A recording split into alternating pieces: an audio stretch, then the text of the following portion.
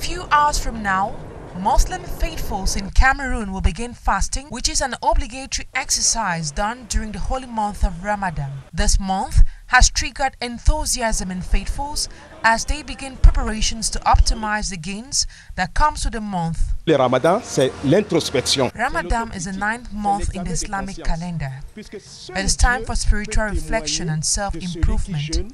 Only God can tell who is really fasting. Some people will pretend as if they are fasting, but God knows everything. You need to examine your relationship with God during this period. C'est un acte d'adoration. Speaking on the significance of the fasting, Sheikh Dauda Labaran says the month is unique for many reasons. Le jeûne du mois de Ramadan doit avoir It is a month of repentance and forgiveness of sins.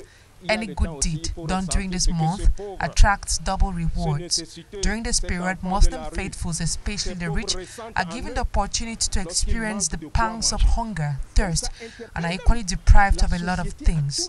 This promotes social bonding and awakens a spirit of compassion and empathy. Ça fait rappeler à ceux riches qui mangent tous les jours. Mariamu, a Muslim faithful, says she is aware of the extra sacrifice she has to do during this period. Oui, pour pouvoir tenir durant la journée. I will be in the kitchen every morning to prepare food for the family. We will drink tea or pap, while for the main course, we will take fufu corn or rice. It depends on what we have on our menu. Voilà, il y a la bouillie. Tout ça là, ça te permet de tenir toute la journée. Muslim faithfuls in Douala decry the increase in the prices of basic commodities, especially during this period of Ramadan. Puisqu'on a beaucoup des invités.